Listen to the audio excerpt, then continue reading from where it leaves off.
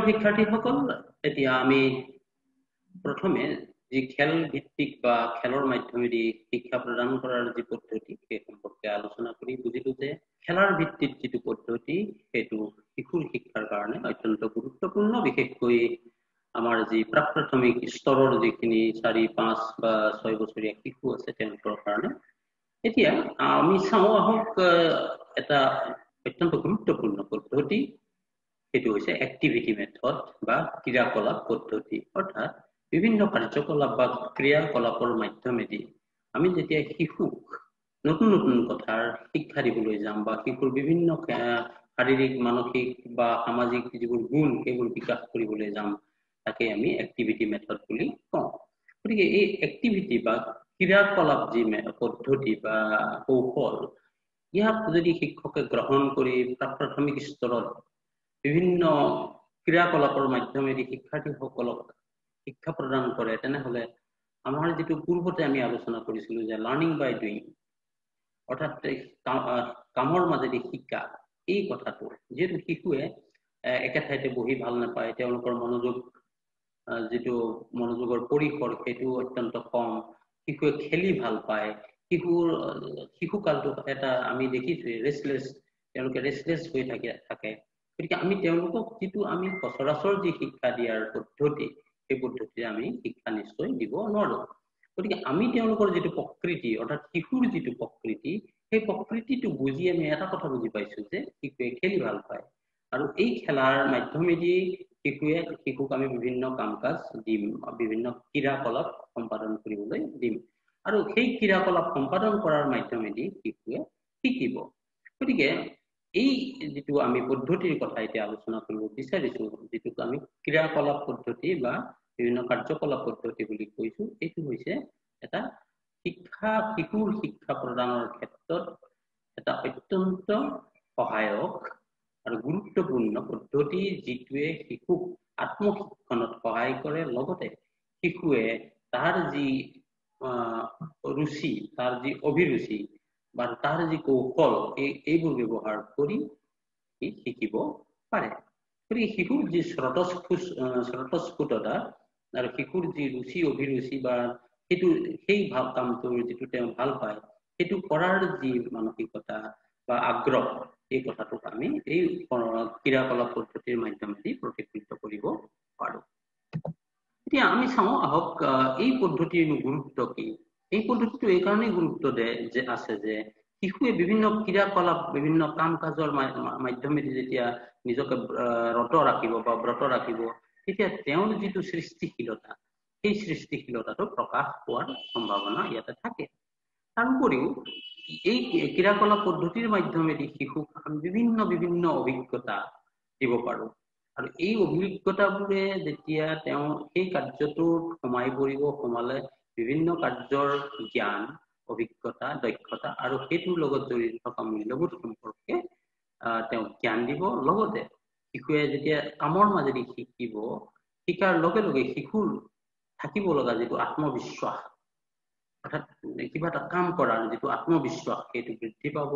তাৰ উপৰিও শিশুৱে যেতিয়া এটা এক্টিভিটি বা এটা ক্ৰীড়া যেতিয়া সম্পাদন কৰিব হয়তো কেতিয়াবা অকলশৰে কৰিব কেতিয়াবা হয়তো দলগতভাৱে কৰিব এনেধৰণে যেতিয়া শিশুৱে কোনো কাৰ্য সম্পাদন কৰিব তেতিয়া তেওঁৰ সেই কাৰ্য সম্পাদনৰ মাধ্যমেদি যিবোৰ সামাজিক সম্পৰ্ক সামাজিক সম্বন্ধ বা বিভিন্ন বস্তুৰ প্ৰতি সৃষ্টি হ'ব লগা আগ্ৰহ এইবোৰ স্বতঃস্ফূৰ্তভাৱেই আহ আগবাঢ়ি আহিব। আৰু এই আমি যেতিয়া ক্ৰিয়াকলাপবোৰ দিম আমি সকলো বিষয়তেই এই ক্ৰিয়াকলাপবোৰ নিৰ্ধাৰণ কৰিম যাতে শিশুৱে ক্ৰিয়াকলাপবোৰৰ মাধ্যমেদি লাৰ্ণিং বাই ডুইং নীতিত তেওঁ শিকিব লগা কথাবোৰ শিকিব। এতিয়া আমি চাওঁ কেনেধৰণৰ আমি কাৰ্যকলাপ বা ক্ৰিয়াকলাপ শিশুৰ বাবে আমি প্ৰস্তুত কৰিব পাৰো। এতিয়া প্ৰথম কথাটো হ'ল আমি এনেকুৱা ধৰণৰ যিটো এক্সপ্লৰেটৰী এক্টিভিটিজ বুলি কয় অৰ্থাৎ য'ত শিশুৰ অনুসন্ধান সন্ধিৎসা বা শিশুৱে নতুন নতুন কথা আৱিষ্কাৰ কৰাৰ যিটো প্ৰৱণতা জন্মগত প্ৰৱণতা সেইটো যাতে তেওঁৰ বিকশিত হয় তাৰ কাৰণে আমি তেওঁক সুযোগ দিব লাগিব। এতিয়া তাৰ কাৰণে ইয়াৰ মাধ্যমেদি এই এক্সপ্লৰেটৰী যিবোৰ আমি এক্টিভিটিজ দিম সেইবোৰৰ যোগেদি শিশুৱে নতুন নতুন বিষয়ৰ ওপৰত জ্ঞান অৰ্জন কৰিব নতুন নতুন ধাৰণাৰ বিষয়ে জানিব আৰু তাৰ উপৰিও নতুন নতুন দক্ষতা অৰ্জন কৰিব পাৰিব। দুই নম্বৰটো হ'ল গঠনাত্মক বা কনষ্ট্ৰাকটিভ এক্টিভিটিজ অৰ্থাৎ আমি শিশুক যেতিয়া এটা ক্ৰিয়াকলাপ দিম বা কাৰ্যকলাপ কৰিবলৈ দিম বা এটা এক্টিভিটি দিম আমি এনেকৈ এনেকুৱা এটা এক্টিভিটি দিম যিটো শিশুৰ যিটো সৃজনাত্মক শক্তি এই সৃজনাত্মক শক্তিৰ যাতে প্ৰকাশ হোৱাৰ সকলো সুবিধা তাতে পায়। আৰু আনটো হৈছে এক্সপ্ৰেছনেল অৰ্থাৎ শিশুৱে নিজক প্ৰকাশ কৰাৰ যিবোৰ ক্ৰিয়াকলাপ যিবোৰ সম্পৰ্কে আমি পিছত আলোচনা কৰিম। সেইকাৰণে আমি তিনি প্ৰকাৰৰ ক্ৰিয়াকলাপ শিশুৰ বাবে প্ৰাক প্ৰাথমিক স্তৰত আয়োজন কৰিব পাৰোঁ। এটা হৈছে এক্সপ্লৰেটৰী এটা হৈছে কনষ্ট্ৰাকটিভ আৰু এটা হৈছে এক্সপ্ৰেছনেল অৰ্থাৎ শিশুৱে নিজৰ ৰুচি বা আগ্ৰহ বা নিজৰ ভিতৰৰ যি সৃজনী শক্তি সেইখিনিক যাতে এই এক্টিভিটিজ বা ক্ৰিয়াকলাপৰ মাধ্যমেদি প্ৰকাশ কৰিব পাৰে নিজকে প্ৰকাশ কৰি তুলিব পাৰে সেই তাক আমি সুনিশ্চিত কৰাটো উচিত। এতিয়া আমি চাওঁ কেনেকুৱা ধৰণৰ ক্ৰিয়াকলাপৰ ওপৰত আমি গুৰুত্ব দিব লাগে।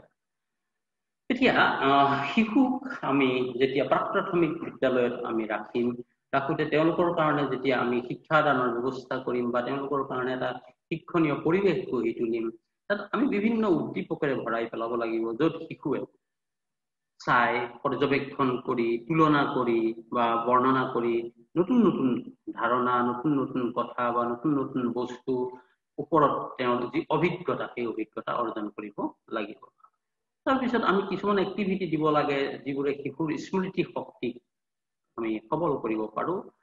আমি চিকুৱেঞ্চিং অৰ্ডাৰত আমি বিভিন্ন জ্ঞানৰ বিভিন্ন যিবোৰ সম্পৰ্ক আছে সেই সম্পৰ্কবোৰ আমি প্ৰতিষ্ঠা কৰিবৰ কাৰণে আমি তেওঁলোকক ক'ব লাগে কোৱাৰ পিছত তেওঁলোকক আমি পুনৰ স্মৰণ কৰিবলৈ দিব লাগে।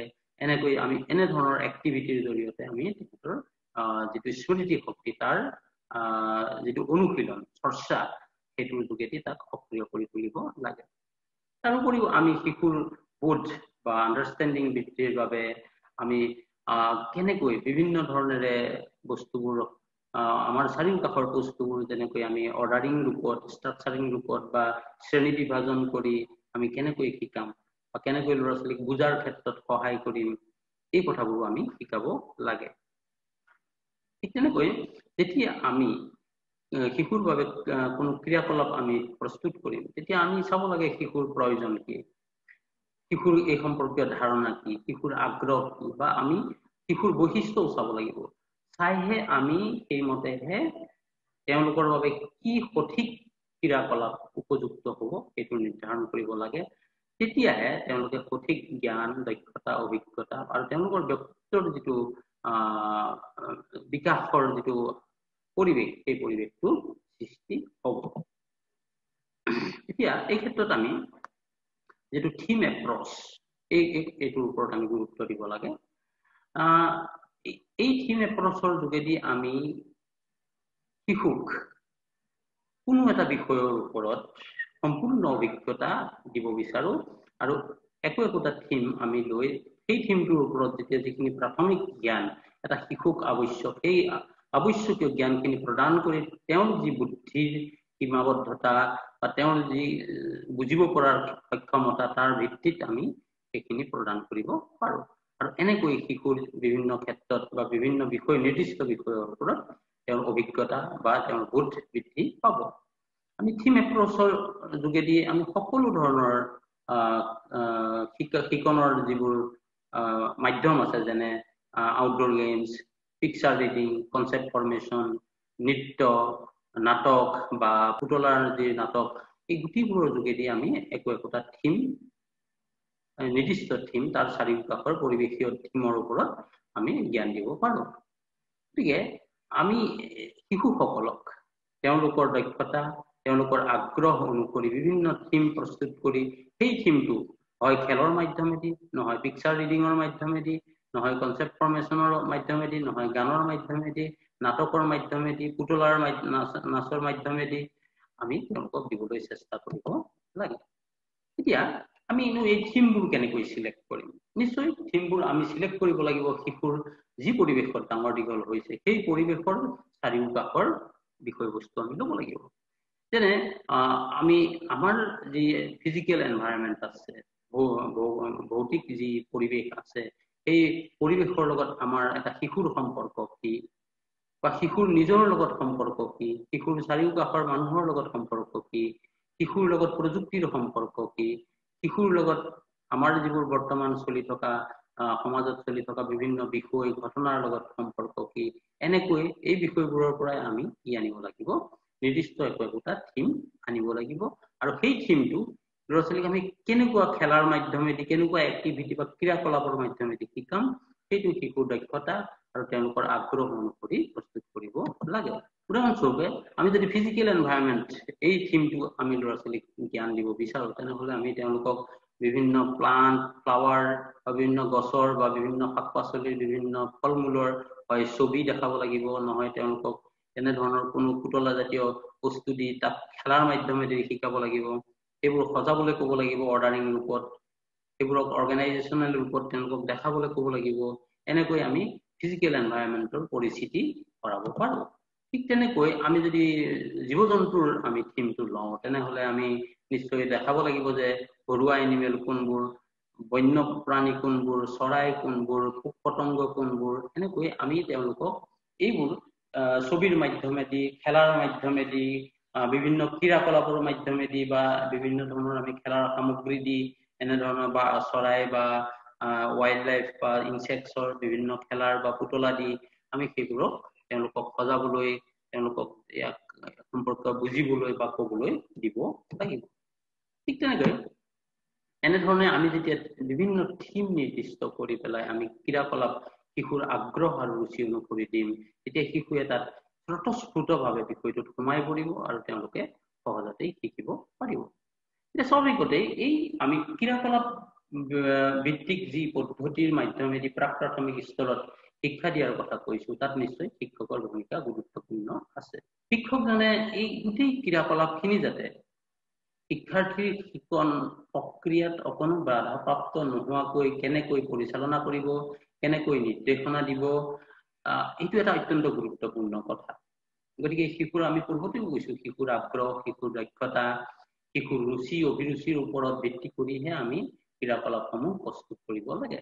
সেইকাৰণে এই গোটেই কথাখিনি বিবেচনা কৰি কেনেধৰণৰ এক্টিভিটিৰ মাধ্যমেদিনো কোনটো থিম শিক্ষাৰ্থীক শিকাব বা কেনেধৰণৰ এক্টিভিটিৰ মাধ্যমেদি শিশুৰ শাৰীৰিক বিকাশ কৰিব কেনেধৰণৰ এক্টিভিটিৰ মাধ্যমেদি শিশুৰ সামাজিক বিকাশ হ'ব কেনেধৰণৰ এক্টিভিটিৰ মাধ্যমেদি শিশুৰ জ্ঞানমূলক বিকাশ হ'ব সেইবোৰৰ কাৰণে সঠিক পৰিকল্পনা সঠিক আয়োজন বা মূল্যাংকন কৰাটো শিক্ষকৰ দায়িত্ব যেতিয়া এটা শিশুসকলে তেওঁলোকৰ ক্ৰিয়াকলাপত মগ্ন থাকিব তেতিয়া সঠিক ৰূপত যাতে তেওঁলোকে সঠিক দিশত যাতে আগবাঢ়ে তাৰ ওপৰত নজৰ ৰাখিব লাগিব তেওঁ সঠিকভাৱে সঠিক সিদ্ধান্ত ল'ব লাগিব তাৰ উপৰিও তেখেতে জ্ঞান প্ৰদানকাৰী হিচাপে কেনে কেনে ধৰণৰ জ্ঞান শিশুৰ বাবে উপযোগী সেইবোৰ কথা চিনাক্ত কৰি সেইমতে তাত দিয়াৰ ব্যৱস্থা কৰিব লাগিব আৰু নিশ্চয় শিশুসকলৰ মাজত এই ক্ৰিয়াকলাপবোৰ কৰোঁতে যাতে সঠিক নিয়মানুৱৰ্তিতা বা সঠিক আত্ম অনুশাসন মেইনটেইন হয় তাৰ প্ৰতি তেওঁ যাৱতীয় দৃষ্টি ৰাখিব লাগিব। এতিয়া আমি এই গোটেই কামখিনি কৰিবলৈ যাওঁতে আমি বিভিন্ন ধৰণৰ থিম যেনে বতৰ ঋতু প্ৰকৃতি এইবোৰৰ ওপৰত আমি যেতিয়া জ্ঞান দিম তেতিয়া আমি এনেধৰণেৰে বিভিন্ন বৰষুণ যিবোৰ পৰিৱেশত শিশুসকল সদায় পাই থাকে ডাৱৰ সূৰ্য আকাশ জোন তৰা পানী এই গোটেই কথাবোৰ আমি তেওঁলোকক শিকাৰ সুবিধা দিব লাগিব। ঠিক তেনেকৈ তেওঁলোকে প্ৰযুক্তি কাৰণ এতিয়া গোটেই যুগটোৱেই প্ৰযুক্তিৰ দ্বাৰা আমাৰ আজি প্ৰযুক্তিয়ে আমাক আজি আমাৰ জীৱন ধাৰণৰ প্ৰচুৰ প্ৰভাৱ পেলাইছে। গতিকে প্ৰতিটো শিশুৱে জনা উচিত কেনেকৈ আমি প্ৰযুক্তিৰ লগত জড়িত কেনেকৈ ৰাস্তা পানী বতাহ ৰেল ইণ্ডাষ্ট্ৰী ফেক্টৰী ইলেক্ট্ৰিক যিবোৰ সামগ্ৰী যিবোৰ জনসংযোগৰ সামগ্ৰী বা বস্তু টিভি ৰেডিঅ' কম্পিউটাৰ টেলিফোন ইত্যাদি যিবোৰ বস্তু আমাৰ দৈনন্দিন জীৱনত ব্যৱহৃত হয় সেই সম্পৰ্কেও শিশুসকলক জ্ঞান দিব লাগিব। ঠিক তেনেকৈ শিশুসকলক যিটো তেওঁলোকৰ আত্মধাৰণা অৰ্থাৎ চেল্ফ ইন্ট্ৰডাকশ্যন বুলি যিটো কয় তেওঁৰ নাম তেওঁৰ লিংগ কি তেওঁৰ দেউতাৰ নাম কি মাৰ নাম কি ইত্যাদি যিবোৰ তেওঁৰ আত্ম যিবোৰ ফেমিলি বা পৰিয়ালৰ পৰিচয় বা অন্যান্য তেওঁৰ চাৰিওকাষৰ মানুহৰ পৰিচয় লগত পৰিচয় বিভিন্ন উৎসৱ পাৰ্বণ বা মানুহৰ বিভিন্ন প্ৰয়োজনসমূহ বা মানুহৰ অন্যান্য বিভিন্ন খেলা ধূলা বা অন্যান্য জীৱিকা সম্পৰ্কেও সৰুতেই একো একোটা থিমত আমি তেওঁলোকক শিকাব লাগিব যাতে শিশুসকলে তেওঁলোকৰ চাৰিওকাষটো ভালকৈ বুজাত সহায় হয়। ঠিক তেনেকৈ পৰিষ্কাৰ পৰিচ্ছন্নতাৰ যিবোৰ নীতি নিয়ম সেইবোৰো আমি শিকাব লাগিব। বিভিন্ন বেমাৰ আজাৰ সম্পৰ্কেও শিকাব লাগিব। কেনেকৈ সুৰক্ষিতভাৱে আমি আমাৰ এটা চাৰিওকাষৰ পৰিৱেশ প্ৰস্তুত কৰিব পাৰো সেই সম্পৰ্কীয় জ্ঞান নিৰাপদমূলক যিবোৰ আমাৰ অভ্যাস যেনে ৰাস্তাত সদায় বাওঁফালে যাব লাগে ইত্যাদি কথাবোৰ যাতে সৰুৰ পৰাই শিক্ষাৰ্থীৰ মাজত গঢ় লৈ উঠে। তাৰোপৰি সংৰক্ষণৰ যিবোৰ গুৰুত্বপূৰ্ণ কথা যেনে পানী সংৰক্ষণ গছ গছনিৰ সংৰক্ষণ শক্তি সংৰক্ষণ ইত্যাদি কথাবোৰো আমি শিক্ষাৰ্থীসকলক বা সৰু সৰু শিশুসকলক শিকাব লাগিব।